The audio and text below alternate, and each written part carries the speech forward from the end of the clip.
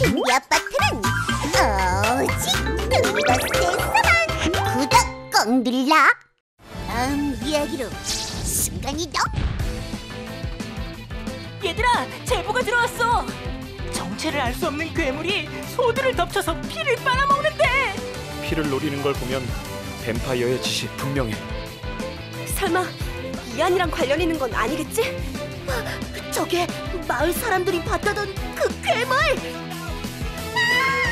신비 아파트 고스트볼 더블엑스 수상한 의뢰 다음 이야기. 흡혈 좀비 추파카브라 첫 번째 이야기